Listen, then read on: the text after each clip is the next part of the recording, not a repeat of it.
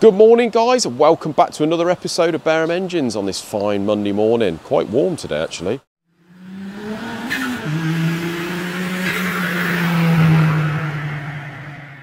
We've come in this morning to, again, usual Monday morning, people camping on the doorstep.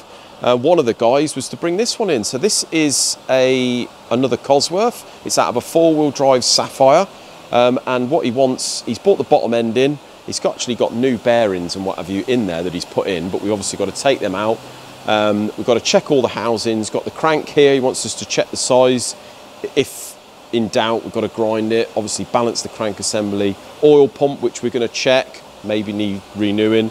A nice rusty old flywheel, which we've got to clean up, face, um, and then balance the crank assembly with a new Helix clutch. I like the Helix clutches.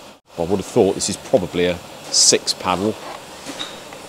Uh, a five paddle. Yeah, these are nice. These are they're quite a harsh cover, um, but they do take good torque. These things. So we've got to put our ductile iron top hat liners in this. Um, obviously, check all the running clearances. Do a bit of a dummy build, then give it him back, and he's going to um, and he's going to be building it again. Same as the the Kevin Polton's one that I did that already had the long studs in. It's got the old style long studs. So these have got the 17 mil um, fixed sort of washer how housing on there, um, but we're going to be replacing two of those with the Julian Godfrey studs and just going a bit deeper on these two here behind the core plugs. Um, obviously, you've got those lugs in the base there. So, yeah, we've got Cosworth pistons in that box, which are in really, really good condition. So I'll just be doing a measurements and checking those. Um, they've got the valve pockets in, etc. So probably be using those again and just boring those liners to fit those pistons. So yeah, another cosy week by the looks of it. Got other stuff to crack on with. I want to be cracking on with uh, Pete's normally aspirated Cosworth this week if I can, because I'm away at Center Parcs next week. So um, yeah, bit of a mad rush to get everything up to date before I bugger off on holiday, guys. But um, it's going to be a well-deserved week off for me. Right, these are the conrods for the uh, transit over there that Isaac's doing. Uh, you can see he's lightly held them in the vice there. Very lightly, the yeah. aluminium jaws. Nothing too strenuous on them. um, so, mate, what have you found with the uh, housing diameter? Well, I've only done this one so far, but that Okay. was all good. It's Right. in the middle of the tolerance, so um, that's So fine. what it's is- not overalled or anything. So. What is the what is the size for the housing? So we found these, these for the sizes. So you've Um, got two point. So this is an imperial, two Yeah. point two oh four five to two point two oh five four, which is 0.9 of a thou, which is quite a lot of tolerance. That Yeah. usually they're about 0.6 of a thou.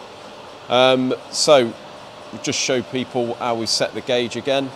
So, So well, set the gauge set on the, the, mic. size on there. Um, so as you can see, set that 2.50. What's it? 2.2054, which is top limit. Yeah, Um, and you obviously put that in there and zero it, um, and then you can so if you check the size. So when it gets to the zero, and that means it's on top limit, so that's the bigger size. So if it goes over that, um, you can run up to obviously 0.9, so that's like Yeah. one under the one. So that look, looks like it's dead centre in the um, Yeah, in the tolerance there. Check it all the way around. So we, we tend to like to run them on the mid to slacker side. So if it was on, Ooh, I'm a bit tight there. yeah. So if it Oh, was if it was down near the one, we would probably see there. They are they are always very slightly oval. Yeah. Um, but because he's sort of mid limit up to slacker, then that is absolutely fine. Um, if it was down to nearer the one, we would ease that out probably half a thou. Yeah, Um, but that looks ideal, mate. So Cool. hopefully all the rest are the same. Um, you can see Isaac is over here. He's cleaned most of the bits.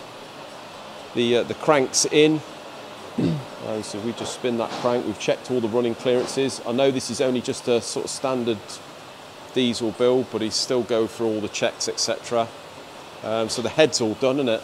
head's done just there, stood up. Crank's all torqued up.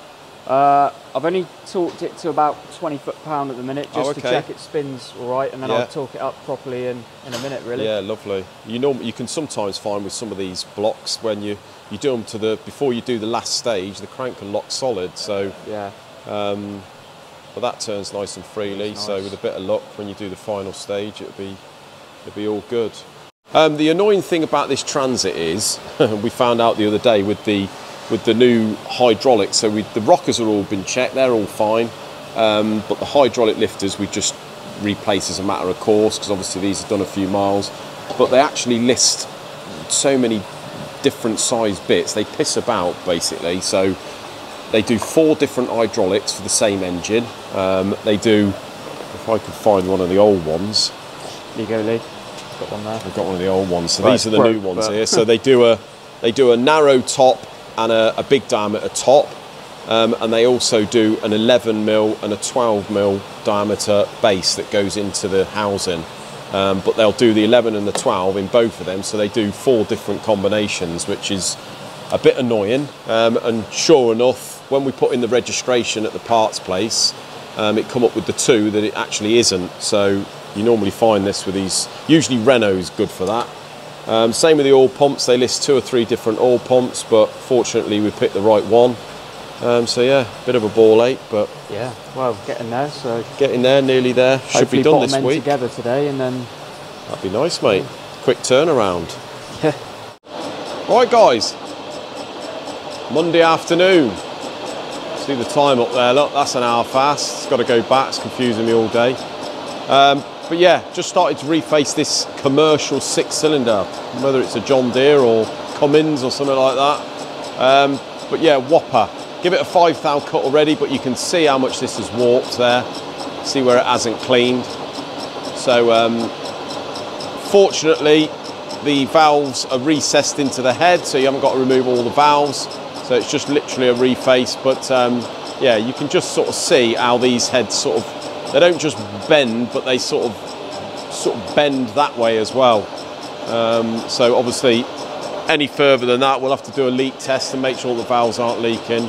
But um, yeah, nice heavy. We'll get the heavy ones out of the way. Right then guys, I've just started the normally aspirated Cosworth engine, um, just checking out my clearances and what have you, and there's been a little bit of an issue. What I'm going to go on about now is the main reason that we are particular about the running clearances on the crank, the mains and the big ends.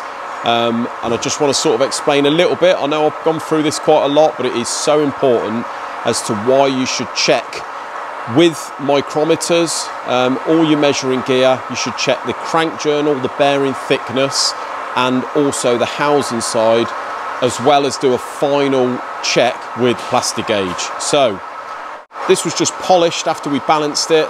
It's at 0.25, 0.25, so which is 10 thou on the mains and 10 thou on the big ends. So, we've checked this crank and we are on bottom limit on the mains and we are also on bottom limit of the big ends. The housings of the conrods and the mains are on top limit, which means they're on the bigger side. So what I mean by that on the limits is you have a tolerance. Um, so if we have a little look here, just move this crank quickly. If we have a look in this book, say for instance the mains, You've got 2.3866 and 2.3874. So that is a difference of 0.8 of a thou. Okay, I'm sorry if I'm working in thous here and not metric. These are the metric sizes above here, so that is point, 0.02 of a difference, okay, which equates to an eighth of a thou basically, which is quite a lot of clearance. Um, so you bear in mind, you've got that clearance. You've also got that sort of clearance on the housing. So the housing in the block, once the cap's torqued down, you've got probably, uh, well, it'll tell you here.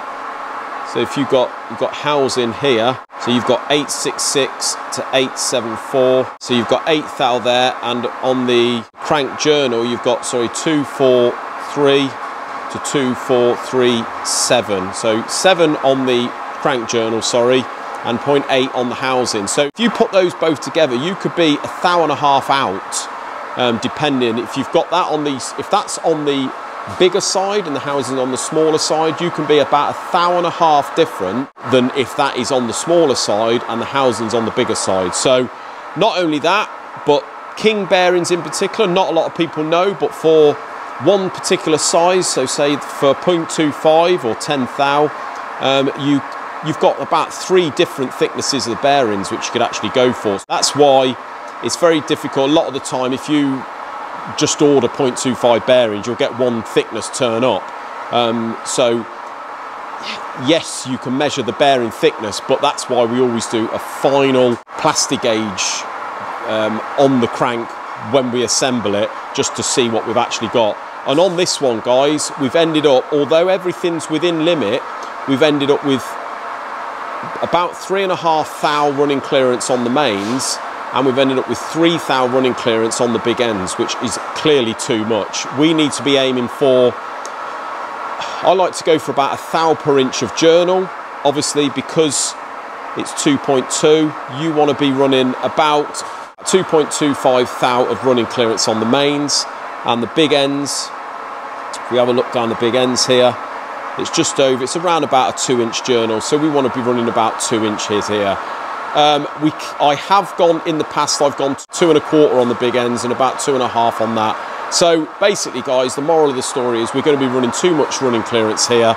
Um, if you run too much running clearance, the oil disperses out the side of the bearing. You can end up with low oil pressure, um, and it can also hammer out the, the, the bearings a lot more than if you was running a, a tighter clearance. So that's why we need to, it's critical that we get it right.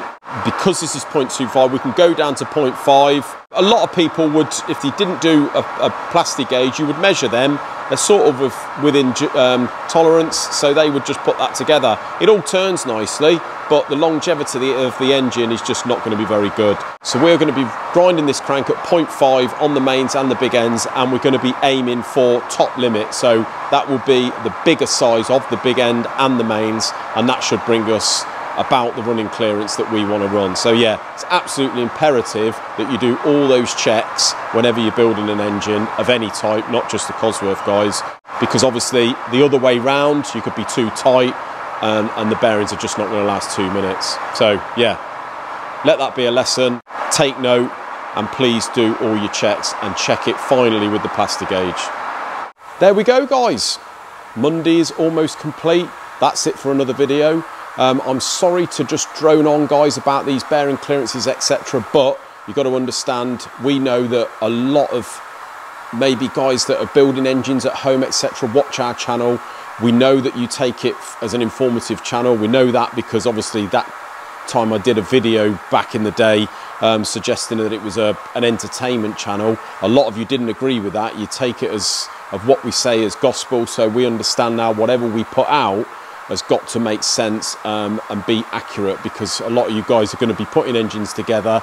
There's a lot of money involved, a lot of time involved, and it could be catastrophe. So that's why we drum in um, these bearing clearances, etc., to you guys. Um, also, it seems like a lot of the engines that we have are because people watch our videos and they understand the depth of to what we go into with these engine builds, like the bearing clearances, etc., making sure everything is absolutely cock on for the application. So I hope it's all making sense. I know it's quite hard to explain on camera sometimes, but um, yeah, as long as some of it, bit at a time, makes sense to you, we'll keep going over the same things, um, and one day you'll be uh, you'll be an expert, eh? But until Wednesday's video, guys, have a great evening. We'll see you then. Take care.